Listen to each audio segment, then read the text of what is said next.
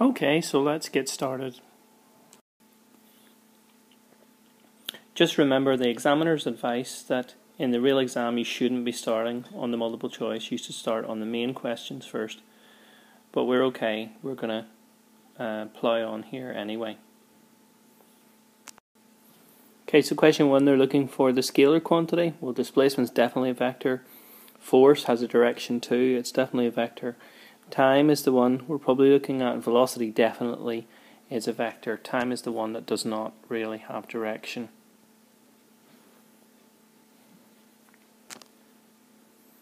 Okay, substance that can undergo a large plastic deformation without cracking can be described as, well, that's the definition, remember, of malleable.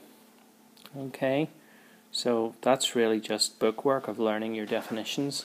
Remember, malleable uh, malleable comes from malleus, Latin for hammer. So this is something that can be hammered, and if you imagine hammering out a pot or whatever, um, using metal, flat metal, that's what malleable means.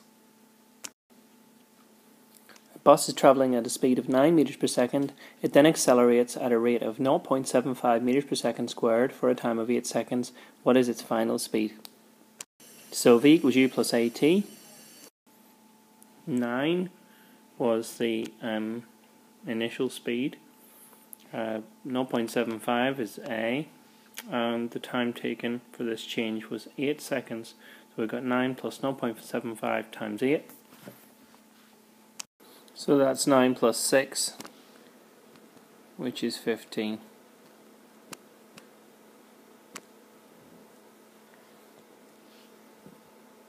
B. So, which of the following is not an SI base quantity? Well, this is just straight bookwork. Length, mass, and time are. Force is the odd one out there. Force remembers mass times acceleration from Newton's second law. So it's a complex thing. It's not a simple thing in that sense. So in here we have three things that are definitely base units and one that definitely is not. This is our bookwork stuff. So we have a diagram here with some forces acting on a picture. So we've got several expressions, one of which is the correct relationship. Well, crucially here, this picture is in equilibrium, so the vertical components of the two tensions will balance with the weight of the picture. So if we've got t acting at some angle theta, we want the vertical component of t. t breaks into a horizontal component like that, and a vertical component like that. Now if you remember the rule about SOHCAHTOA, you'll realize that sine relates the opposite which is this one, to the hypotenuse, which is this one.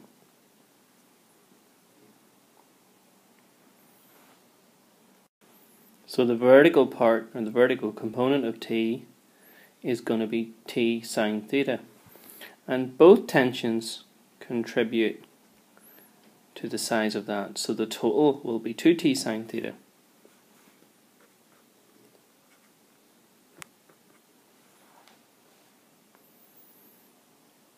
And so that's what's balancing W. So answer D is what we're looking for. Right then, a person weighing 100 newtons stands on some bathroom scales in a lift. If the scales show a reading of 110 newtons, which answer could describe the motion of the lift? Okay, well, crucially, the reading on the scales is the value of the normal reaction from the floor on the person. Now, if there's a higher normal reaction, then that means that there's an upward direction to the acceleration because r is greater than r here is greater than mg because mg down we're told is 100 newtons because the person weighs 100 newtons. That doesn't change. The reaction of them the reaction of the left to the person, which is what shows up on the scales, is higher. So if I put some numbers on, you can see that there's a net upward force of 10 newtons. And Newton's second law um, tells us that the resultant force, which is this thing here, is equal to ma. So the resultant force is upward because a is upward. So the idea here is that we've got an upward acceleration. That doesn't mean we're moving upward, it just means the direction of our acceleration or resultant force is upward. So for a start, there is an imbalance in force. So we can rule out constant velocity and constant velocity. It comes down to these decelerating examples. Um, moving upwards and decelerating, well, if it was upwards and decelerating, that would mean that the acceleration was pointing downwards, um, which this isn't the case. Moving downwards and decelerating, that would make sense because um, if this object is moving down, then to decelerate, we would net, need a net upward force. And that's what we are observing here. We are observing an excess upward force of extra 10 newtons. So that makes sense. Question 7. A spring extends by 9 centimeters when a force of 6 newtons is applied. The limit of proportionality is not exceeded. Okay, now what this information tells us, if we look at these two numbers, is that 1 newton corresponds to 1.5 centimeters of extension for one of these springs. This is another identical spring is joined end to end with this spring and a force of 4 newtons is applied. Well, if there's 1.5 centimeters for every newton, then 4 newtons is going to create uh, an extension of 1.5 times 4, which is 6 centimeters. The problem is that they're joined end to end, we're told here. And that means that both springs will feel a 4 newton force on them, so they will both extend by 6 centimeters, giving you a total extension of 12.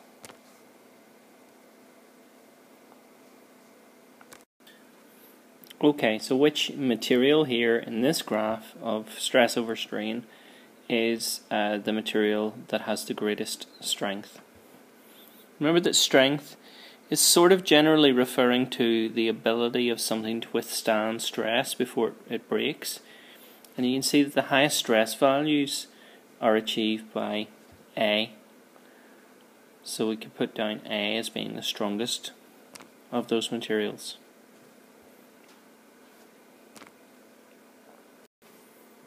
So which has the highest Young's modulus? Well again we can look, Young modulus is the ratio of the stress over strains, like the gradient of these graphs, well, the material with the highest gradient of the straight part is B, so it would have the highest Young's modulus.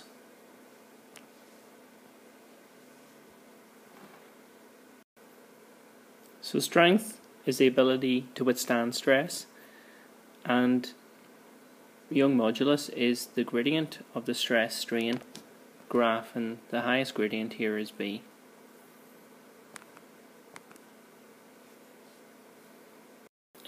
Final multiple choice question The acceleration of free fall on a particular planet is 8 meters per second squared. An object is dropped from a height and it hits the ground after 1.5 seconds. From what height is it dropped? So, we've got g of 8 meters per second squared. We've got a time of 1.5 seconds for the fall. And we're being asked which one of these is the displacement. Now, crucially, um, we're going to realize that u here would equal nothing because it's going to if something is dropped, then it's dropped from rest. It doesn't say that, but that would have to be true. It's not thrown, so it says it's dropped. So uh, we don't know v, so we need an equation that doesn't have v in it, but it has displacement and acceleration and time. Uh, u is known, so this will simplify to s equals nothing plus a half at squared, or indeed a half gt squared. And I'm taking everything to be downward because everything happens in the downward direction. G is down, um, the displacement is down, so we may as well take down to be positive in our problem. And that simplifies it because you just got a half times g times t squared. Um, so uh, one and a half squared is going to be like one and a half, one and a half. So it's like 1.5 plus 0.75 is like 2.25. And a half times a it's 4. So 4 2.25s is like 9.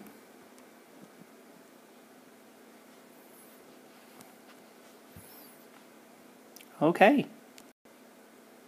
Answer B.